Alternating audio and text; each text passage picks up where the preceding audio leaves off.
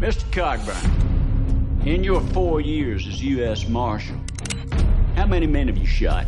Shot or killed? Let us restrict it to killed so that we may have a manageable figure.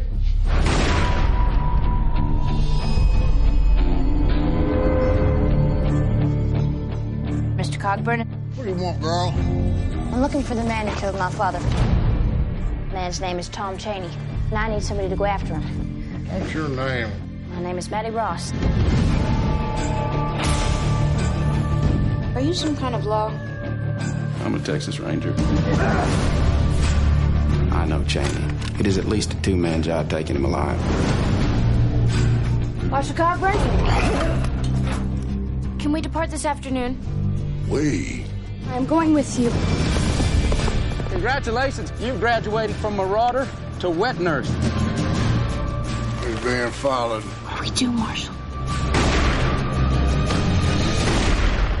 You missed your shot, Cogburn. Just let this go. I thought you were going to say the sun was in your eyes. That is to say, your eye.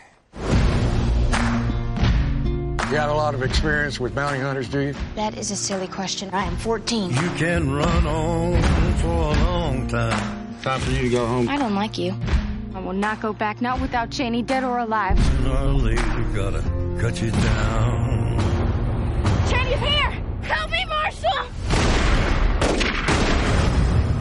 Now what, Cogburn? Them boys don't think about the wrath that's about to set down on him.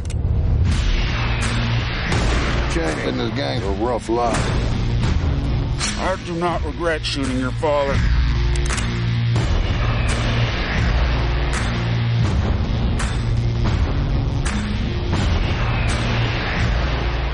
I will kill this girl! Biggest mistake you ever made. Tell 'em that God's gonna cut you down. Help me! I can do nothing for you, son.